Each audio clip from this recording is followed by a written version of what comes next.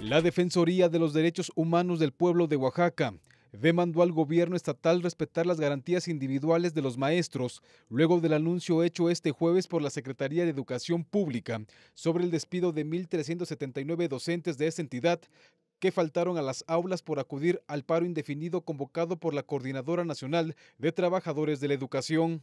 El visitador general de la Defensoría, Juan Rodríguez Ramos, refirió que si bien la Ley General de Servicio Profesional Docente contempla la rescisión de contrato para los maestros faltistas, el procedimiento para hacer valer esta norma debe ser cumplido a cabalidad y apegado a derecho, pues de lo contrario, el despido se convertiría en ilegal y un atentado contra los derechos de los trabajadores.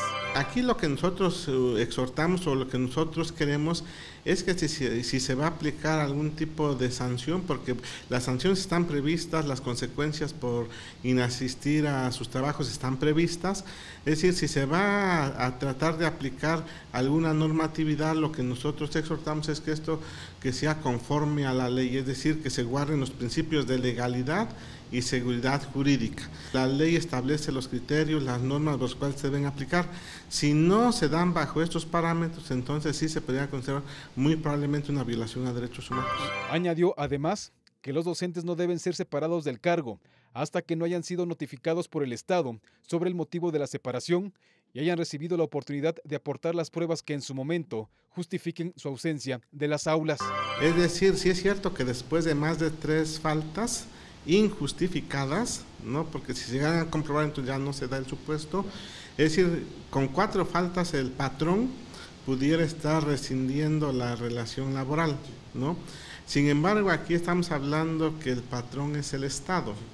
Entonces, como Estado debe, y atendiendo a la obligación también de respetar los derechos humanos, debe agotar también los procedimientos sí, a efecto de hacer efectiva esa sanción tiene que haber comprobado que efectivamente no laboraron, tienen que haber el documento que soporte esto y entonces proceder.